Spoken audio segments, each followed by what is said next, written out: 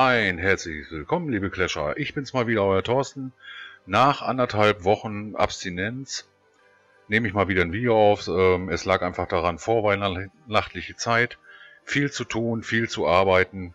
Andere Faktoren spielten natürlich auch noch einen Grund. Keine Lust oder auch äh, kein Bock, irgendwas aufzunehmen.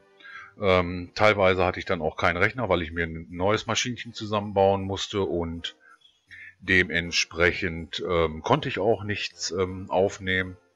Ähm, ich hätte zwar was aufnehmen können, aber ähm, das wäre dann auch nicht so gut gewesen. Ich hätte es dann eh später wieder anders spielen müssen.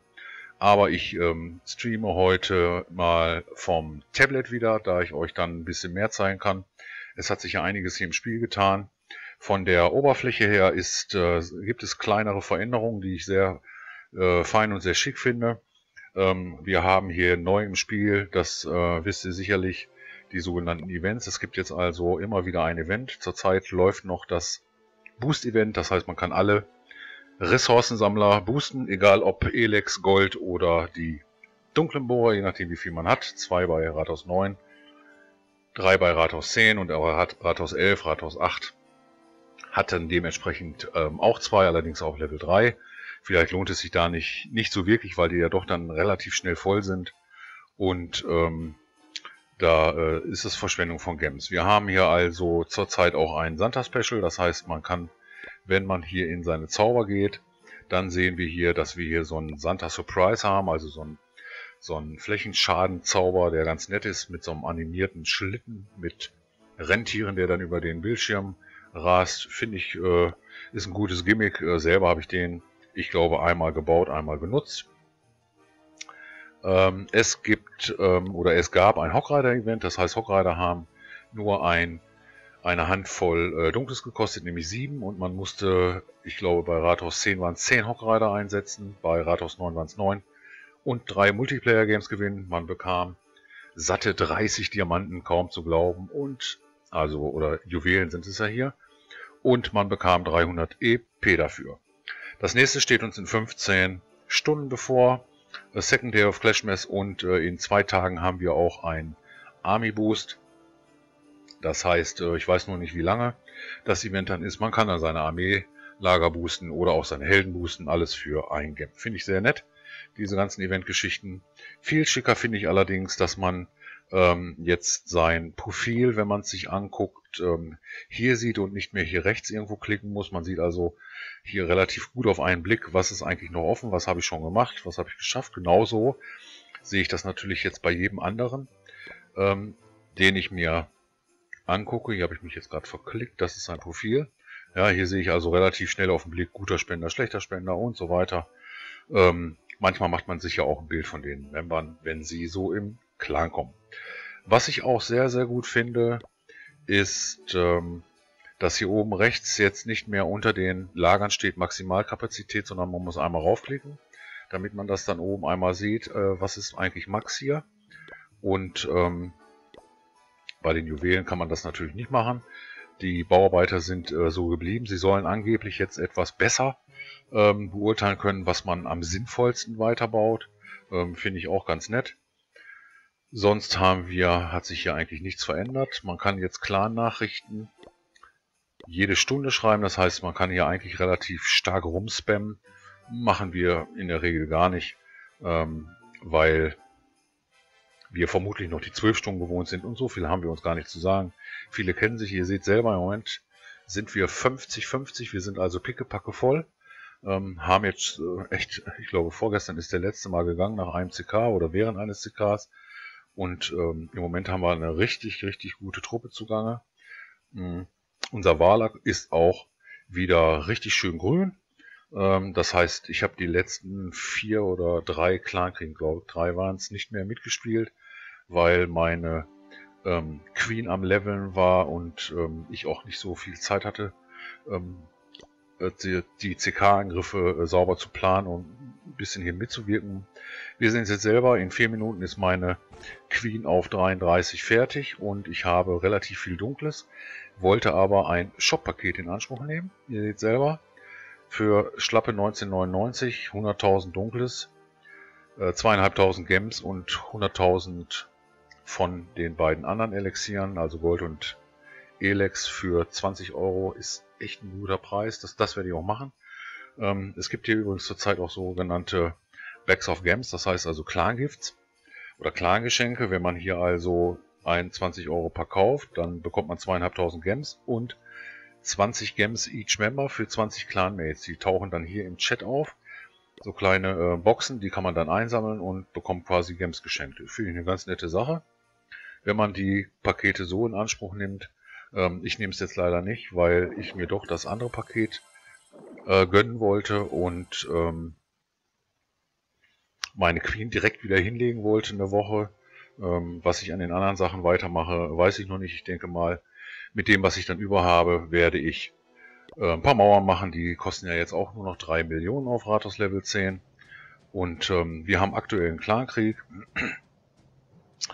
Da muss ich ähm, euch hier den wahrscheinlich epischsten Kampf ever zeigen. Nein, natürlich nicht. Ähm, der Crazy hat hier ein bisschen Glück, dass er wirklich ähm, hier ein Rathaus, ähm, ich glaube 5 ist es, erwischt hat. Und ähm, ja, hier tatsächlich einfach mit so ein paar Hocks reinkommt. Hier gibt es nicht so viel Def. Er hat die Hock Rider auf, äh, auf 3, ist sein erster CK. Und ähm, dann ist natürlich so eine Base, warum er da den King verloren hat, weiß ich auch nicht. Ähm, Habe ich jetzt nicht drauf geachtet, ist das natürlich schon eine relativ starke Opferbase. Äh, sind leicht verdient drei Sterne, aber ich denke mal, Crazy wird noch ein bisschen mehr zeigen müssen von sich. Aber er scheint sehr engagiert zu sein, so zumindest was ich mitgekriegt habe. Und ähm, wir haben auch zwei neue Rathaus 11 Das heißt, das stimmt nicht. Wir haben drei neue Rathaus 11 Der Daywalker ist mittlerweile Rathaus 11. Der Oleg ist Rathaus 11 geworden und ähm, wir haben noch einen Elver dabei, der ist aber nicht im CK dabei. Das müsste unser Slim sein, der auch schon RH11 jetzt ist. Äh, das heißt, wir müssen noch ein bisschen mit unseren Neunern auf 10 hochgehen. Je nachdem, wie die Neuner das denn wollen, wie hoch sie ihre Helden maxen wollen. Ähm, das dauert dann ja auch immer ein bisschen. Und äh, die, die ich mir letztendlich vorstellen kann, sind äh, vielleicht Flashloop oder auch, ähm, äh, wo ist er, der Avatar vielleicht, muss man mal gucken. Ich denke mal, die Leute wollen doch ihre Helden relativ hoch haben, bevor sie dann aufs nächste Rathauslevel gehen. Und ähm, weil es ja doch ein bisschen viel Arbeit ist und auch im CK will man ja noch so ein bisschen was holen. Vielleicht kann ich noch einen Angriff zeigen. Live tut sich ja hier im Moment nichts. Dann gucken wir uns hier den 2-Sterner an von Ragnar. Äh, da schauen wir mal rein, was er hier gemacht hat. Typische Heiler, Hock und Bowler-Konstellation. Eigentlich gut begiftet, auch gut in die Base reingekommen. Die Base ist auch gar nicht mal so stark maxed. Ich denke mal, er hat einfach ein bisschen Pech gehabt mit den Hocks. Und mit dem King, der den da immer über die gesamte Base äh, folgt. Das ist, ähm, hätte ich mal so gesagt, das ist irgendwie zum Kotzen, weil wenn man auf den King selber klickt, da hat er gar nicht so eine große Range und der flitzt den ja ohne Ende nach.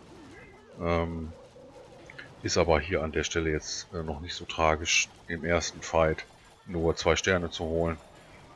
Hm, wir sind sicherlich etwas äh, Besseres gewohnt, aber das wird schon. Die Base kassiert drei Sterne, ganz, ganz sicher. Und der CK von den Bases her, äh, von den Vergleichen her, sieht auch wieder ganz entspannt aus. Da äh, schauen wir mal, oh, wir sehen es gerade, Upgrade completed, Queen Level 33. Dann würde ich sagen, ich mache gleich mal einen Angriff mit meiner Queen und ähm, werde noch ein bisschen rumfarmen. Im Moment farme ich ein bisschen lazy, ähm, ich brauche ein bisschen Elex. In ein paar Tagen ist mein viertes Armeelager fertig. Ich muss dann noch zwei Armeelager fertig machen. Die, da habe ich extra einen Bauarbeiter, extra nur, der die ganze Zeit nur Armeelager macht. Dann habe ich das hinter mir und kann eigentlich dann den Rest der Zeit immer schnell und ähm, günstig Truppen bauen. Äh, günstig nicht, aber schnell Truppen bauen und ähm, habe nicht so eine massive Wartezeit wie jetzt. Jetzt dauern die Truppen ja doch ein bisschen länger, weil ich äh, immer eine Kaserne weniger habe. Das heißt, die Elex-Truppen ähm, brauchen immer ein paar Sekunden länger pro, pro Truppe. Das macht sich dann schon bemerkbar. Bei den dunklen bin ich durch. Da habe ich beide Kasernen auf Max-Level. Das heißt also, gerade meine Bowler, die ich doch sehr häufig im CK benutze, sind relativ schnell da, auch wenn ich sie spenden will. Habe ich immer schnell 5, 6 Stück gebaut und ähm, will mal schauen, dass ich hier einen relativ einfachen Gegner mal finde. Ich habe ja auch nicht so eine starke Armee jetzt dabei.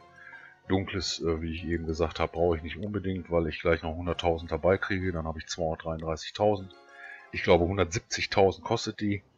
Und das ist eigentlich so ein Gegner hier, den ich einfach mal mitnehme. Den mache ich auch ganz äh, lazy, setze einfach ein paar Riesen, nehme so ein paar Kobolde hier hinterher, die mir einfach nur die Lager ein bisschen leer machen. Und ähm, dementsprechend komme ich hier ganz einfach an die Bohrer-Ressourcen dran. Da mache ich auch gar keinen Affen hier. Ähm, da ich die nächste Armee sowieso schon wieder am Start habe. Gucken wir mal, die sind ja wirklich echt flink, die, die Kobolde. Ich nehme die wirklich sehr gerne zurzeit. Ähm, weil da lässt es sich echt geil mit farmen, muss ich sagen. Jetzt gucken wir mal gleich, wo wir noch ein bisschen Dunkles holen können. Ähm, ja, ich weiß, ich habe ja gesagt, wir wollen eigentlich gar kein Dunkles holen. Aber trotzdem. Und ähm, gucken wir mal. Hier haben wir ja noch so ein paar von den Jungs. So, wo ist der andere Bohrer? Das ist ja ein Rathaus 9. Den Bohrer haben wir. Oh, der andere Bohrer ist, ist glaube ich schon weg. Dann ähm, nehmen wir doch einfach unsere restlichen Riesen. Was haben wir hier noch drin? Ach, auch noch ein paar Riesen. Die nehmen wir noch mit. Ähm, machen wir vielleicht noch einen Stern. So, einmal die super neue Queen auf 33, bevor sie dann gleich auf 34 hochgeht. Die können sich noch ein bisschen was schnappen, dann habe ich sie alle verbraucht. Ähm, Brauche auch gar nicht so fürchterlich viel Prozente jetzt machen. Benutze jetzt auch keinen Zauber, ähm, weil ich auch nicht unbedingt auf eine Liga aus bin oder so. Sondern das machen wir ganz easy hier. Die zünden wir mal. Mal schauen, ob es äh, noch ein bisschen Richtung Rathaus geht. Ist ja eine, eine Base, die doch eher offline ist. Gucken mal, die Riesen sind noch ganz gut am Starter. Das sind meine Clanburg-Riesen auf 8. Ah, die Queen geht aufs Rathaus dann. Dann sollt ihr das Rathaus auch machen. Kriegt ihr nur ein kleines bisschen äh, Beschuss vom kleinen Magierturm. Die paar Riesen kümmern sich um den Tesla und dann brechen wir das einfach ab. Haben wir jetzt einen Stern geholt, ganz easy peasy. 250.000 von jedem. Bonus interessiert mich nicht. Liga interessiert mich nicht. Ich würde sagen, ähm, ich mache mal weiter Videos, äh, dass ihr mal wieder ein bisschen auf den Geschmack kommt und ich vor allen Dingen auch wieder. Equipment ist wieder am Start. Und dann würde ich einfach sagen, ich verbleibe. Euer Toto Clashed.